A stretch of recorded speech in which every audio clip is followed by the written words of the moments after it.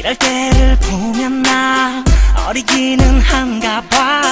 눈앞에 두고도 어찌할 줄 몰라. 어떻게들 사랑을 시작하게